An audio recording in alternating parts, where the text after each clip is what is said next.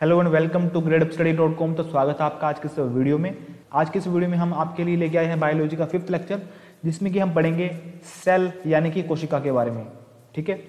तो देखिए सेल से काफ़ी सारे क्वेश्चन एग्ज़ाम में बन चुके हैं, ठीक है? और आपको पता ही है कि एचपी पुलिस कांस्टेबल में बायोलॉजी का जो वेटेज है वो काफ़ी ज़्यादा है, ठीक है? तो बायोलॉजी को हम विस्तार पूर्वक पढ़ेंगे, ताकि कोई भी क्वेश्चन अगर आपको एग्ज़ाम में बन जाएगा तो आप उसको इजिली से कर लोगे, ठीक है? तो चलिए इस वीडियो को शुरू करते हैं। सबसे पहले देखो, कोशिका को हम इंग्लिश में बोलते हैं सेल ठीक है? लेकिन अगर हम बात करें बायोलॉजी में तो बायोलॉजी में हम कोशिका को बोलते हैं साइटो ठीक है?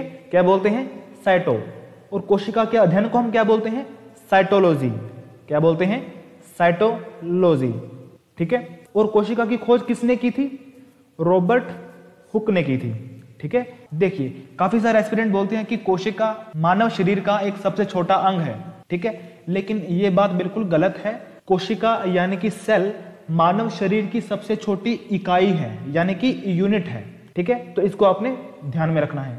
चलिए, अब देखो, एक क्वेश्चन काफ़ी फ़ेमस है कि सबसे छोटी कोशिका किसमें पाई जाती है? तो किसमें पाई जाती है? माइकोप्लाज्मा में, ठीक है? और अगर हम बात करें सबसे बड़ी कोशिका की तो सबसे बड़ी कोशिका किसकी होती है? शत्रुमुर्ग के अंडे की।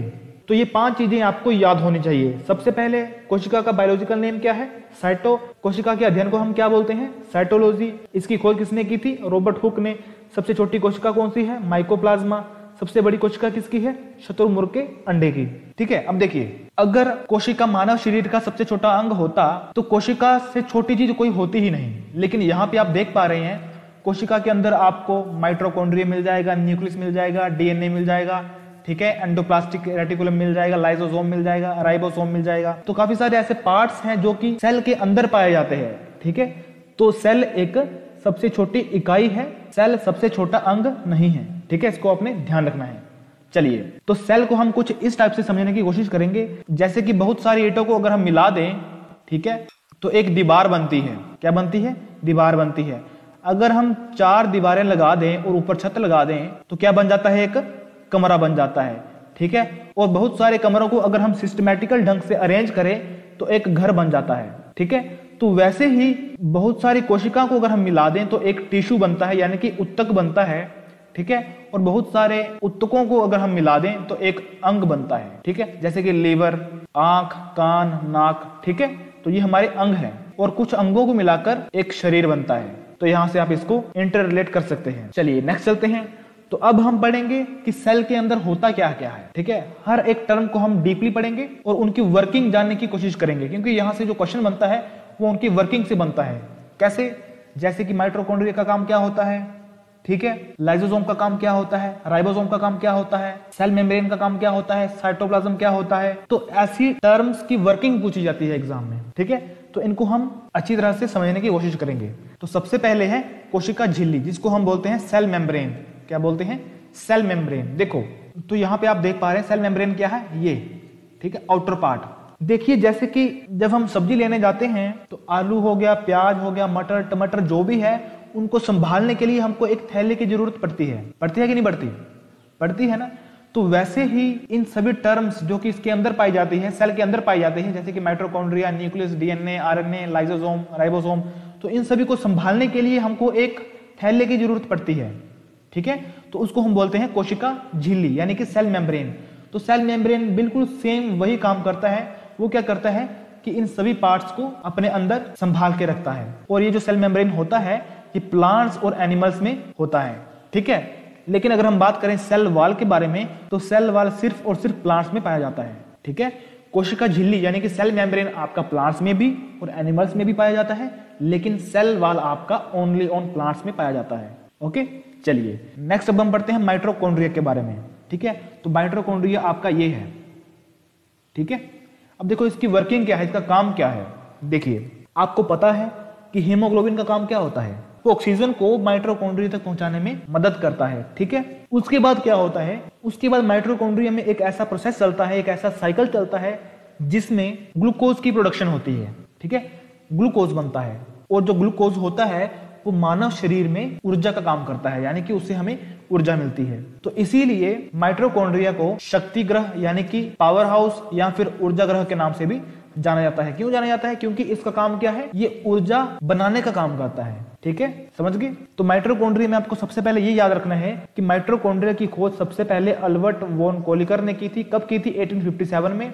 तो अल्बर्ट वोन कोलिकर ने एक मरी हुई कोशिका के अंदर माइट्रोकॉन्ड्रिया को देखा था। उसके बाद ऑल्टमैन ने इसके बारे में अध्ययन किया था, ठीक है? तो अगर आपको एग्ज़ाम में क्वेश्चन आए कि माइट्रोकॉन्ड्रिया की खोज किसने की थी, ठीक है?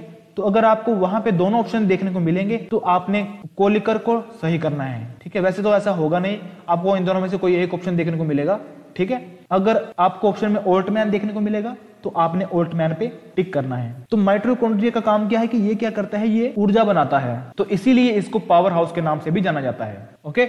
चलिए नेक्स्ट चलते हैं। Next centrosome. क्या है? सेंट्रोसोम। अब देखो, सेंट्रोसोम का काम क्या होता है? सेंट्रोसोम कोशिका का विभाजन करके नई कोशिकाओं का निर्माण करता है। क्या करता है? जो एक कोशिका होती है, उसको तोड़ता है ब्रेक करता है और उसकी नई कोशिका बना देता है। ये कौन करता है? सेंट्रोसोम करता है। ठीक है? कौन करता है? सेंट्रोसोम करता है। अब देखिए, जैसे ही हमारे शरीर में कोई कट का निशान लगता है तो वो अपने आप भर जाता है। ठीक है? वो कैसे भर जाता है? क्योंकि कोशिका का विभाजन होता है तो आपका जो घाव है, वो भर जाता है। समझ रहे हो बात को? तो कोशिका का विभाजन हमारे शरीर में होना ज़रूरी है। लेकिन, जब ये विभाजन आउट ऑफ़ कंट्रोल हो जाए, यानी कि बड़ी तेज़ी से होना शुरू हो जाए, तब वहाँ पे कैंसर हो जाता है। ठीक है? जब कोशिका का विभाजन आउट ऑफ़ कंट्रोल हो जाए तो वहाँ पे कैंसर हो जाता है। तो कोशिका विभाजन सबसे अधिक कहाँ पे होता है? लीवर में होता है। ठीक है? इसको आपने याद रखना है। कोशिका का विभाजन सबसे अधिक कहाँ पे होता है? लीवर में होता है। और मानव शरीर में एक ऐसा पार्ट है, जहाँ पे ये कोशिका विभाजन होता ही नहीं है। कहाँ पे नहीं होता? ब्रेन में नहीं होता। ठीक है? तो इसीलिए जब ब्रेन में चोट लगती है ना तो उसका कोई इलाज ही नहीं होता। क्योंकि वहाँ पे कोशिका का विभाजन होता ही नहीं है। ठीक है? तो इसलिए बोला जाता है कि भाई हेलमेट डाल के चलो। अगर ब्रेन में कोई चोट लग गई तो उसका कोई भी इलाज नहीं है। ठीक है? क्योंकि वहाँ पे कोशिका का विभाजन होता ही नहीं है, ठीक है? जिससे कि आपका जो जख्म है वो भर जाए। अब आप बोलोगे, सर, अगर ब्रेन में कोशिका का विभाजन होता ही नहीं है तो फिर ब्रेन कैंसर कैसे हो जाता है? और अभी आपने मुझे बताया कि कैंसर तभी होता है जब कोशिका का विभाजन आउट ऑफ़ कंट्रोल हो जाए। लेकिन ब्रेन में तो कोशिका का विभाजन होता ही नहीं है। देखिए, ब्रेन का 90 परसेंट हिस्सा न्यूरॉन सेल से बना हुआ होता है, ठीक है? न्यूरॉन सेल से बना हुआ होता है। और इसी न्यूरॉन सेल का विभाजन नहीं होता है। ठीक है? इसी न्यूरॉन सेल का विभाजन नहीं होता है, ठीक है? लेकिन ये जो 10 परसेंट हिस्सा है ब्रेन का, इसका नाम है गैलियल सेल क्या नाम है? गैलियल सेल इसमें कोशिका का विभाजन होता है, ठीक है? इसमें कोशिका का विभाजन होता है और जब ये कोशिका का विभाजन आउट ऑफ़ कंट्रोल हो जाता है, तब हमारे ब्रेन में कैंसर हो जाता है, जिसका नाम है ब्रेन ट्यूमर वो किसके कारण होता है? इस गैलियल सेल के कारण होता है, ठीक है?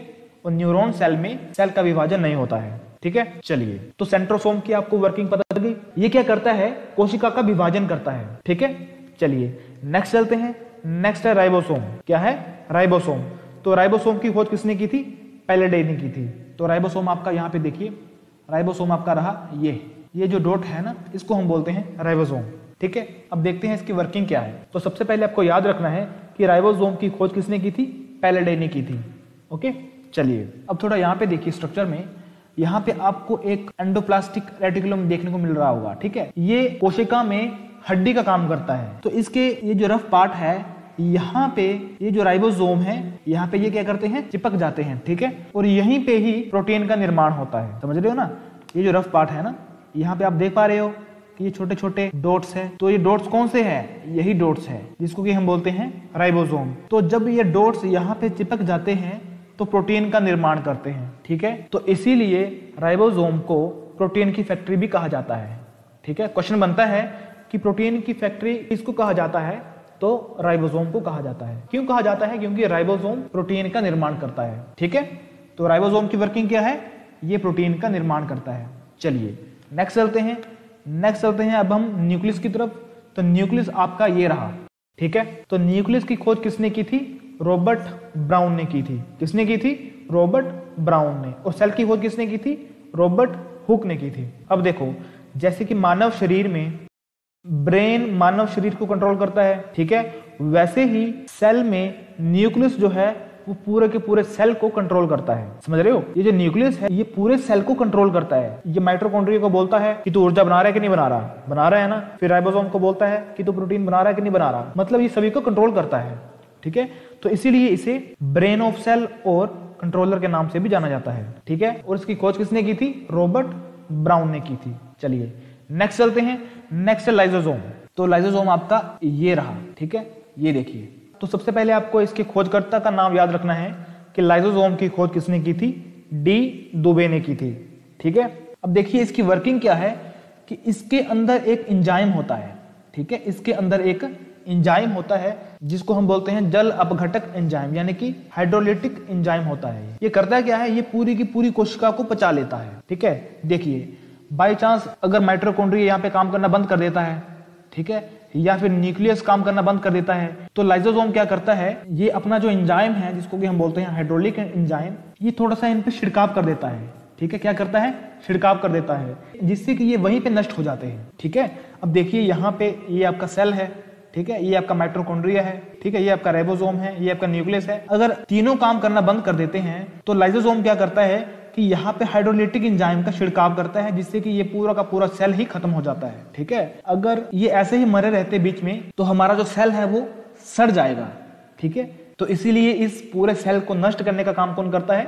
लाइजोसोम करता है। और लाइजोसोम का होना भी ज़रूरी है। अगर मान लिया जाए कि माइट्रोकोन्ड्रिया काम करना बंद कर देता है तो वो धीरे धीरे सड़ना शुरू हो जाता है और फिर वो धीरे धीरे पूरे सेल को ही गिलाकर रख देता है। तो उसको नष्ट करना ज़रूरी हो जाता है। तो उसको नष्ट करने का काम कौन करता है?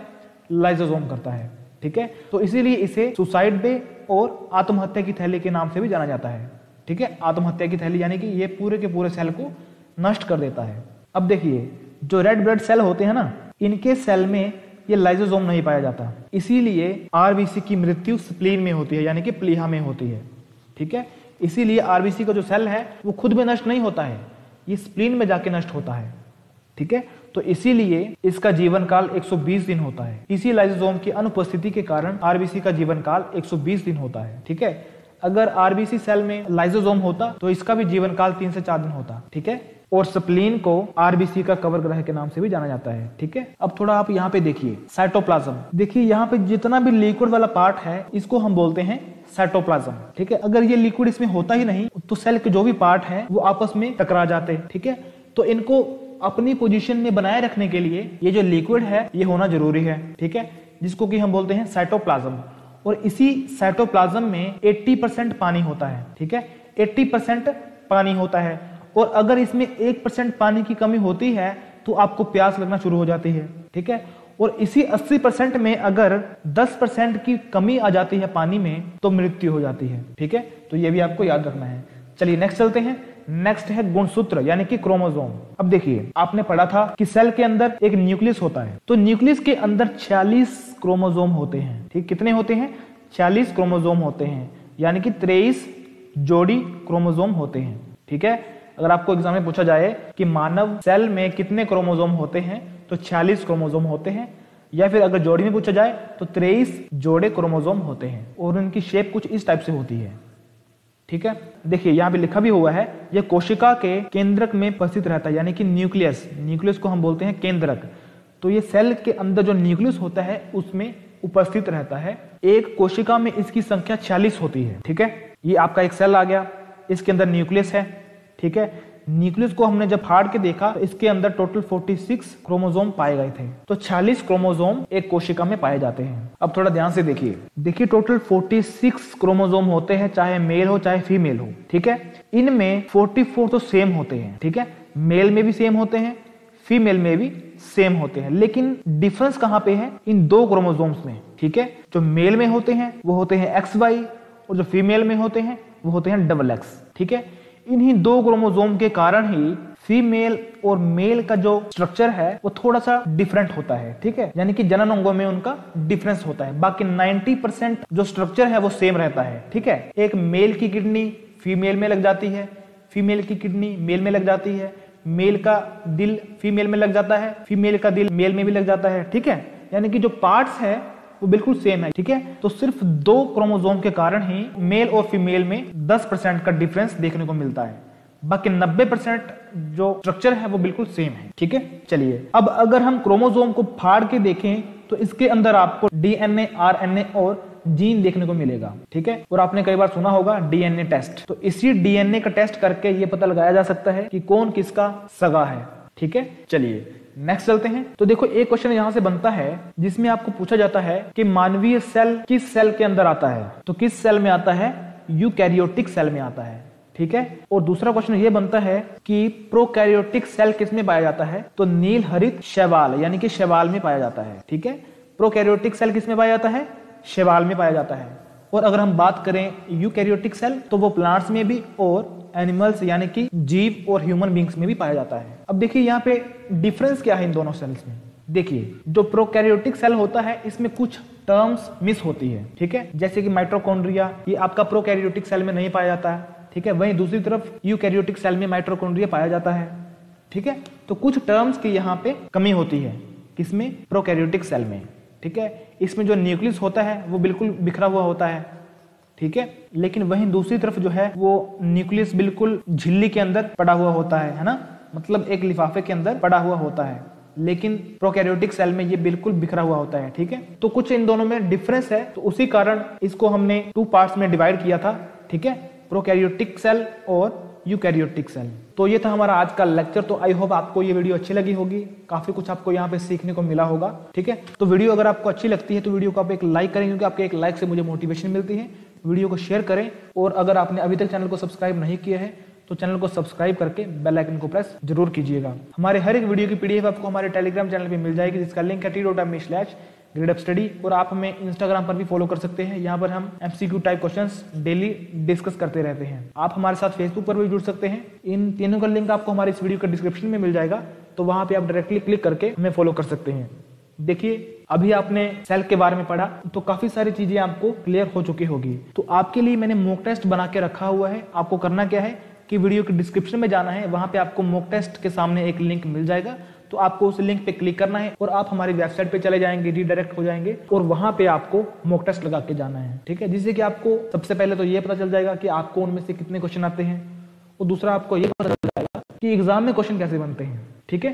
तो मॉक टेस्ट को आपने ज़रूर लगाना है। तो मिलते हैं नेक्स्ट वीडियो में तब तक के लिए जय हिंद।